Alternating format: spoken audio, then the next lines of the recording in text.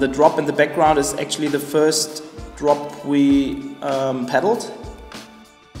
I got stuck in the in the backwash of that waterfall and I couldn't get out of there. And then we had to watch my boat go down the next rapids. That's a famous drop in Norway and it's called Money Drop and they offered uh, 300 Norwegian crowns. In the end, uh, 25 kayakers showed up and they all did it. This is uh, the put-in of the Brandseth River. It's fair whitewater, big rapids and waterfalls and uh, everything you could ask for as a whitewater paddler.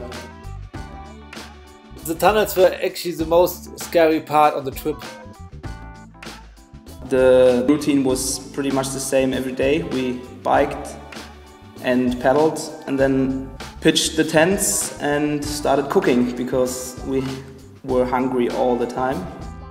This picture shows pretty good how it worked with our bikes and kayaks and the bike trailer. And obviously all those tourists were pretty interested in what we were doing. Um, that's the put-in of the Stordalselva steep slides and big waterfalls and super nice moves, little moves and big moves and it was my best paddling day on that trip.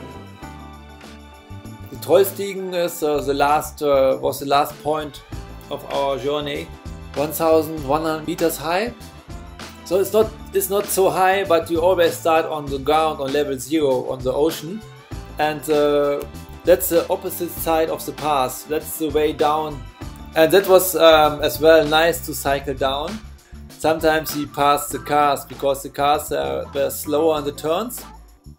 When we reached our final goal in Åndalsnes, it was just pouring down on us and we were just hiding from the rain.